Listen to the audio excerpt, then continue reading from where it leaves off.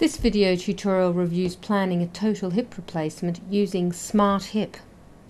To begin Smart Hip, from the blue man in the elective procedures, choose the hip of interest, in this case the right, and the total hip replacement icon. The template favourites for the procedure appear. If correct, no changes need to be made.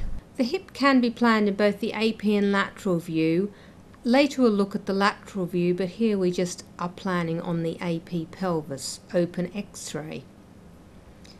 Use the marker ball visible, click once and scale the image, AP and marker. Now in planning, select the Smart Hip Wizard. The Smart Hip Wizard is a combination of both the transitional line and hip joint AP wizard which may need to be used if the x-ray you are using is not well imaged radiographically or if not enough femur is shown on the image. In this case the image is satisfactory. We use the circular component and outline the femoral head trying to establish the original centre of rotation in this case, where the head is damaged, we can judge where the original head would have been. If necessary, drag the circle and measure on the other side. The next stage is to identify two points of reference of equivalence on the femur, but these need to be selected on the lesser trochanter. If the lesser trochanter is not seen, it may be necessary to use the hip joint AP wizard instead. Then take the horizontal line and drag it approximately to two reference points of equivalence on the pelvis and use the square handles to achieve a tilt. This gives you an outcome of leg length difference for the femurs.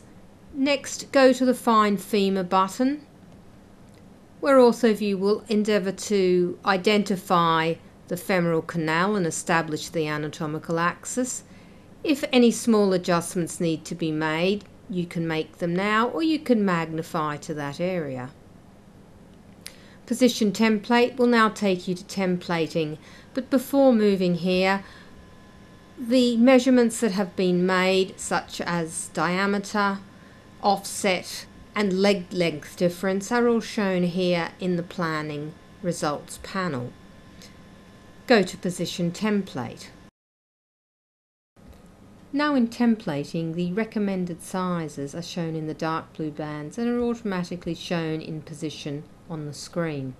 A number of parameters which have not been selected, such as socket and offset, which are shown in the red boxes, need to be selected. Once everything is selected, the templates are fully shown.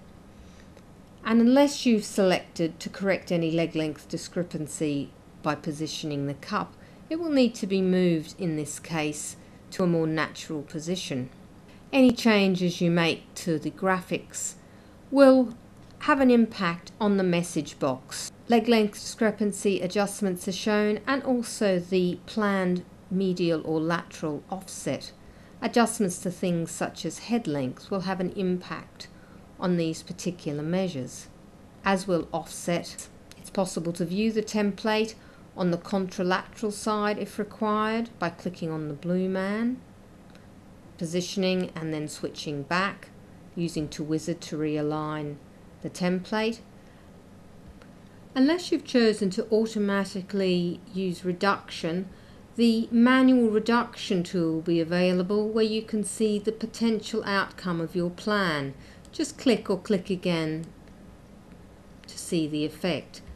You can also still move the templates by clicking in the cup and move them in a joined fashion, seeing what measurement outcomes you have, or by moving the femur independently. If you want to make any reference measurements between the bone and template positions, you can use things such as the line tool or also the angle tool for cup inclination if a reference line is to be used. There are wizards for neck cuts, opening the wizards area. Collared neck cut guide is useful for some stems where it can be positioned according to the cut required and a reference made to any anatomical landmark as needed. Be aware that cemented and uncemented stems work in a different way graphically. Cemented systems maintain the head position and move the stem. Cementless systems such as this one maintain the stem position and move the head when adjustments are made to head length. It's possible to look at the report of anything that you've chosen, such as measurements made and cups and stems selected, plus any other measurements that have been saved in the system. Or alternatively, it's not necessary to look at the report, it will be automatically saved to the PACS when save or commit are used. This ends the tutorial on the Smart Hip.